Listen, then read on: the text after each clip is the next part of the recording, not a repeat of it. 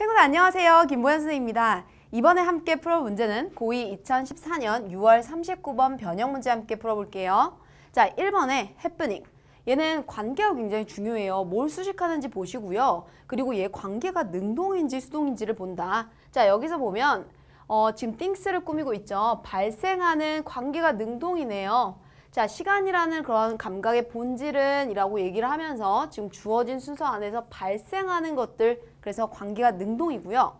자, 2번은 위치라는 친구. 자, 관계대명사다. 앞에 뭐가 있다? 선행사 있다. 뒤에 문장 뭔가 명사를 빼먹으니까 어, 뭔가를 빼먹으니까 뒤에는 불완전하다는 특징이 있는데 여기서 time runs 이런 식으로 완벽한 거예요. 거꾸로는 이 부사로 날려버리고요. 완벽하기 때문에 관계대명사가 올 수 없습니다. 자, 이것과 연관지어서 예문을 보시면요. I like the place를 선생님이 연결해 볼게요. 자, 관계 여기 앞에 뒤에 명사를 빼고 전치사 앞으로 보냈을 때 in which I met him 이때 전치사 플러스 관계대명사는 관계 부사로 바꿀 수 있고 뒤에 문장 완전하다는 특징이 있었죠.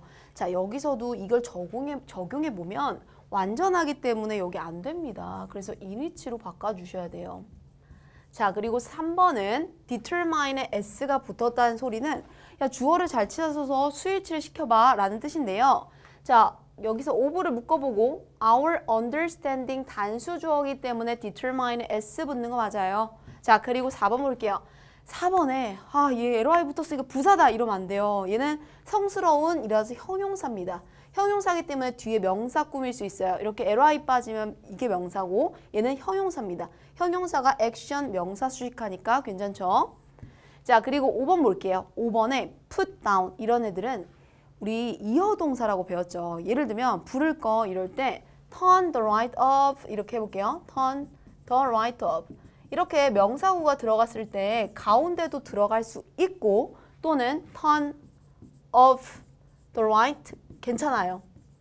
근데 이번에 선생님이 얘를 자 이번엔 대명사로 쓸 거야. 이때는 turn it off 괜찮아요. turn it off. 자 근데 이 대명사는 어디에만 올 수 있다? 이어동사 가운데만 올 수 있다. 그렇기 때문에 turn off it x 자 그걸 묻는 거야.